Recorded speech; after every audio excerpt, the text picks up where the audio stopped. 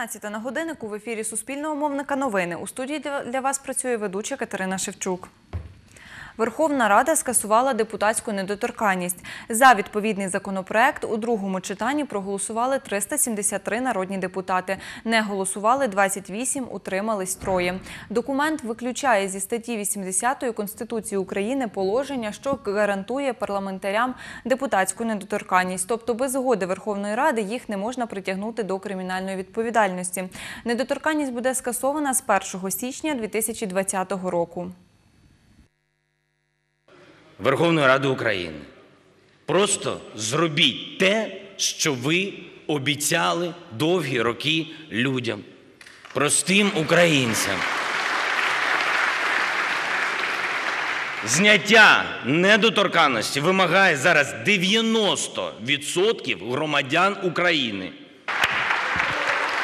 373. Закон прийнято. Покажіть по фракціям, будь ласка. Проти голосів не було. Водночас три депутати від Європейської солідарності утримались від голосування. Не голосували і парламентарі від фракції Опозиційна платформа за життя. Має бути збалансована влада. Якщо недоторканність знімається з депутатів, треба одночасно знімати з суддів, бо у суддів лишилася ж недоторканність, і з президента України. А вже коли, коли е, доведено, що він вчинив якийсь злочин, тоді вже процедура імпічмента це відсторонення від влади з тим, щоб інше. Тобто, е, ну знаєте, це абсолютний популізм був сьогодні. Абсолютний популізм, знаєте, і так, такі маргіналізація відбулася сьогодні всього залу Верховної Ради України. 30 жителів села Проскурівське, е, Проскурівка Ярмолинецького району приїхали до Хмельницького обласного господарського суду протестувати проти арешту майна їхнього підприємства. Як зазначає керівник державного підприємства Дослідне господарство Проскурівська Євгеній е, Добрянський, це блокує рух коштів.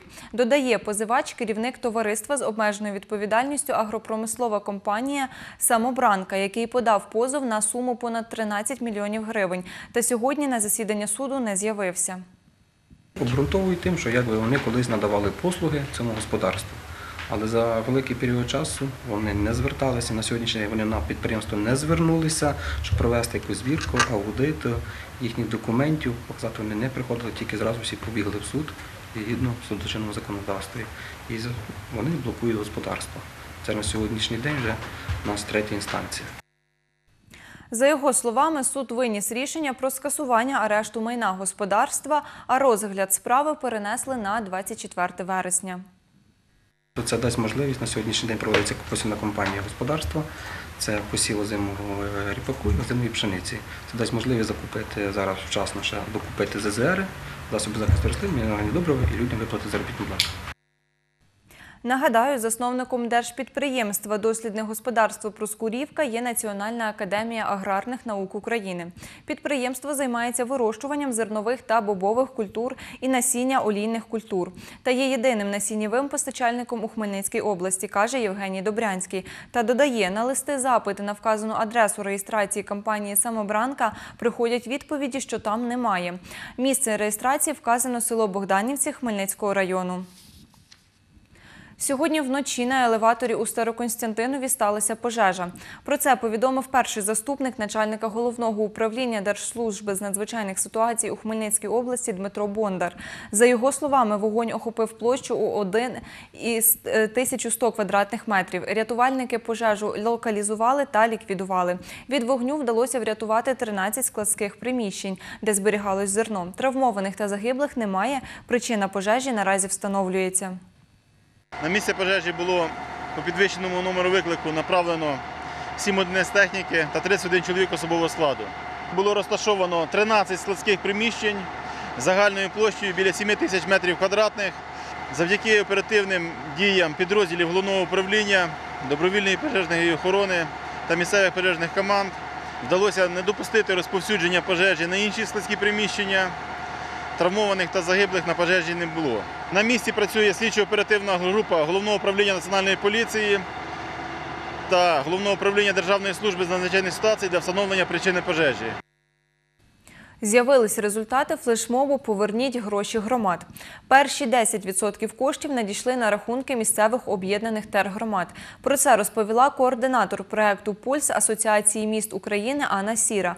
Нагадаю, флешмоб Поверніть гроші громад запустили з вимогою розблокувати виплати 10 мільярдів гривень на соціально-економічний розвиток. Для цього треба записати коротке відео на фоні об'єктів інфраструктури та для ремонту та реконструкції яких мають бути спрямовані кошти, розказати перед історією проекту та звернутись до влади з проханням розблокувати його фінансування. Запостити це відео на вашій сторінці в Фейсбук з хештегом Поверніть гроші громад. Анна Сіра розповідає, будівництва і ремонт амбулаторій, садочків, шкіл, парків, доріг найближчим часом не буде. Офіс президента України, попри передбачені держбюджетом 2019 10 мільярдів гривень на програми соціально-економічного розвитку громад, вирішив не виділяти.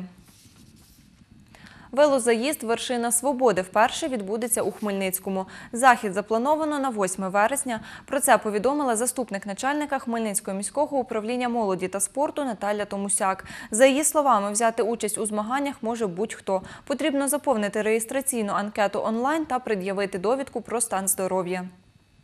Буде задіяна вулиця Свободи, і найкраще буде визначатися найкращий переможець серед велосипедистів та серед бігунів.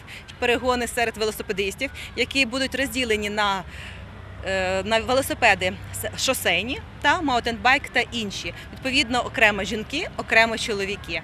Та а також пробіг серед чоловіків та жінок. Дистанція невелика, це дистанція всього 500 метрів. Під час заходу заплановані дитячі велозаїзди, додає Наталя Томусяк. Заплановано ще проведення дитячих велозаїздів та забігів. Е, Діти віком від 7 до 13 років можуть прийняти участь в них. Крім того, на майданчику перед спортивним комплексом СВ будуть відбуватися спортивні розваги, конкурси, де діти, навіть найменші, можуть прийти, спробувати та отримати по- подарунки від наших співорганізаторів. Це будуть і солодка вата, і попкорн, і ще й морозиво. Хмельницька регбійна команда Дюсша номер 1 отримала золото на фіналі чемпіонаті України з регбі серед молодших юнаків. Змагання відбулися у місті Одеса. Більше дивіться у сюжеті. Це перше тренування регбійної команди Дюсша номер 1 після перемоги у чемпіонаті України.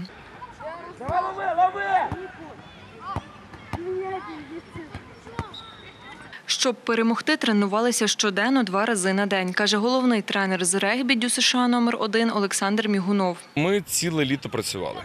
От ціле літо ми працювали. Ми в хлопців відпочинку було всього-навсього два тижні. Мотиваційний тренінговий табір тут, де наші хлопці також приймали участь. Е, Ми попрацювали, провели збір виїзний ще один. І цілий місяць ми працювали тут, і в хлопців було по два тренування на день.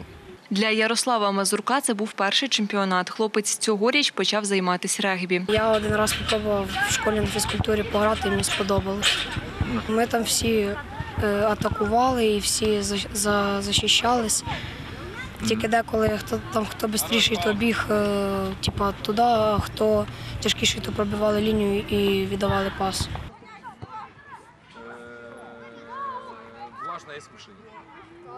Гравець регбійної команди Андрій Рибчинський каже, його завжди підтримують батьки та тренер. Я подзвонив до батьків е, і сказав, що ми перемогли, а вони е, молодці так тримати.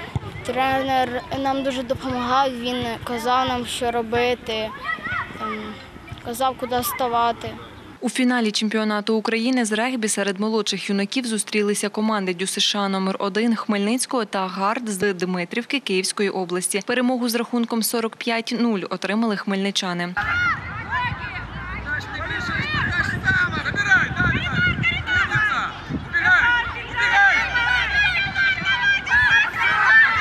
Наступний чемпіонат України відбудеться серед юнаків до 12 років, додає Олександр Мігунов. Наступні змагання будуть 7-8 вересня. Це будуть змагання до 12 років. Е, Вони пройдуть в місто Рів- в місті Рівне. Андрій Гуменний, Катерина Шевчук, Володимир Заянчуковський. Новини на Суспільному. Хмельницький.